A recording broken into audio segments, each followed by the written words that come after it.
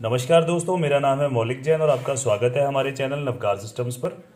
आज हम बात कर रहे हैं ऑटोमेटिक स्कूल बेल कंट्रोलर के बारे में। इसके साथ हमने एक छः इंच की गोंग बेल कनेक्ट की हुई है और यहाँ पर हम इस गोंग बेल और कंट्रोलर के वर्किंग के बारे में जानते हैं। यहाँ पर हमने इसको दो वायर्स की हेल्प से गोंग बेल को कनेक्ट किया हुआ है और कंट्रोलर को हमने 220 वोल्ट का करंट दिया हुआ है ये इस वायर की हेल्प से।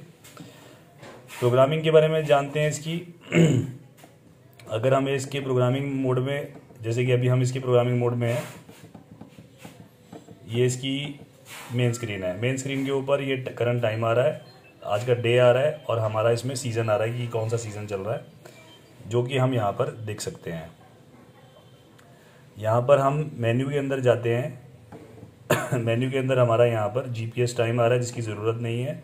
यहाँ शेड्यूल हमारा कौन सा शेड्यूल है, उसको हम इंक्रीमेंट या डिक्रीमेंट की हेल्प से हम इसको ठीक कर सकते हैं। समर शेड्यूल है तो हम समर सेट करके सेव कर देते हैं।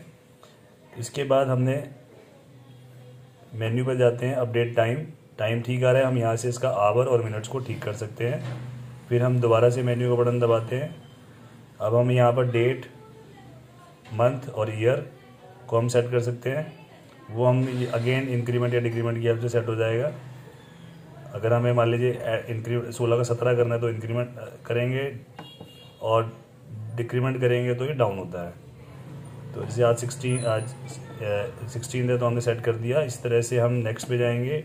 मंथ को सेट कर सकते हैं और इंक्रीमेंट डिक्रीमेंट की हेल्प से और इसी तरीके से नेक्स्ट करके हम ईयर को सेट कर सकते हैं और सेव करके हम अगली ऑप्शन पे चले जाएँगे। Press down to add bell अगर हमें बेल ऐड करनी है तो डाउन का बटन दबाएँगे, क्योंकि इसमें चार बेल्स एडेड हैं ऑलरेडी मैं ज़रा उसको थोड़ा सा स्क्रीन को और क्लियर कर लेता हूँ। क्योंकि इसमें चार बेल्स एडेड हैं तो ये इसमें ऑप्शंस आ रही हैं।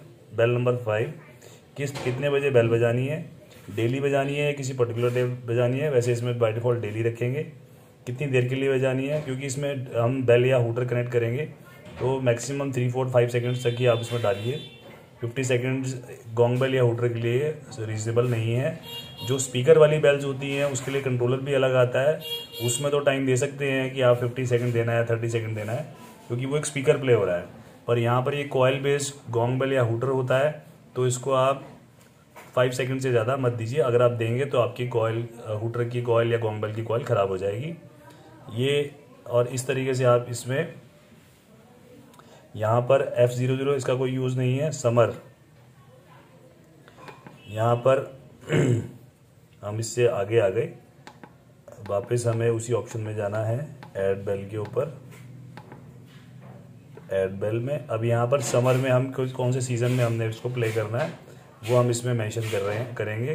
तो अगर हमें इन चीज़ों को चेंज करना है, मान लीजिए हमें टाइम सेट करना है, मुझे eleven o'clock eleven thirty का टाइम सेट करना है तो मैं इंक्रीमेंट नेक्स्ट इलेवन थर्टी तो मैं यहाँ इंक्रीमेंट करके इंक्रीमेंट का बटन दबा के रखा है।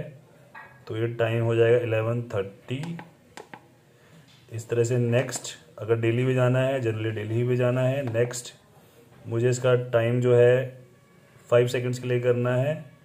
तो मैं इसको डिक्रीमेंट कर देता हूँ।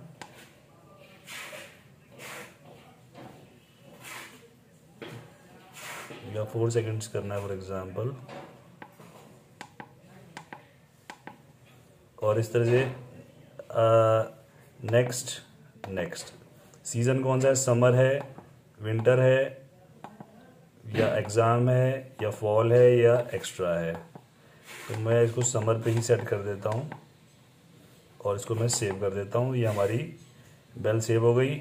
अगर हमें बेल में कुछ मॉडिफिकेशन करनी है तो मैं मेन्यू बटन दबाता हूँ modify bell press down to modify bell down करेंगे। यहाँ पर हमारे पास अलग अलग बेल्स हैं। मैं डाउन करके इस bell number two, bell number three, bell number four, bell number five, ये बेल नंबर फाइव अभी हमने सेट की थी। हम उसमें एज डिज़ायर्ड चेंजेस कर सकते हैं। इस तरीके से हम नो बेल। इसके बाद अब कोई बेल नहीं है। सेव करके हम मेन्यू बटन प्रेस डाउन अब हमें बेल डिलीट करनी है। कुछ बेल हमसे गलती से ऐड हो गई है। हम उसको डिलीट करना चाहते हैं। हम डिलीट भी कर सकते हैं। यहाँ से हम जिस बैल को डिलीट करना चाहते हैं, हम उसको डिलीट भी कर सकते हैं। फॉर एग्ज़ाम्पल इसको मुझे डिलीट करना है।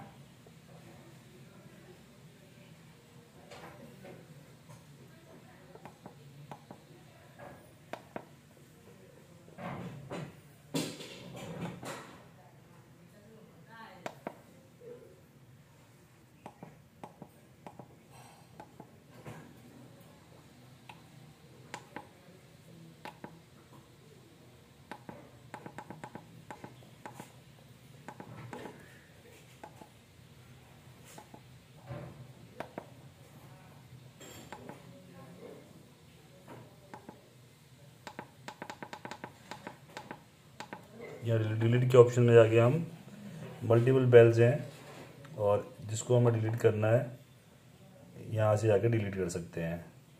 नेक्स्ट मेन्यू में जाते हैं और ये हमारा मेन मेन्यू आ गया है। तो इस तरीके से हम अपनी सारी ऑप्शंस को इजीली यूज़ कर सकते हैं बेल को कनेक्ट कर सकते हैं।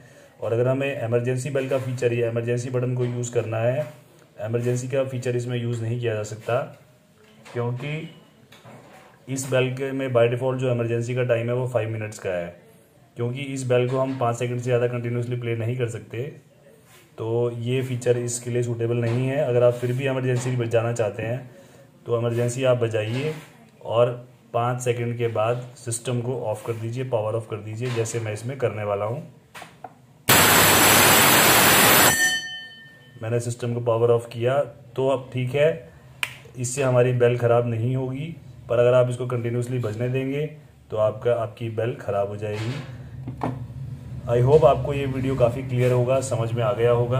अगर आपको इस तरह के बेल कंट्रोलर की रिक्वायरमेंट रहती है तो आप हमें नीचे दिए हुए नंबर्स पर कॉन्टैक्ट कर सकते हैं।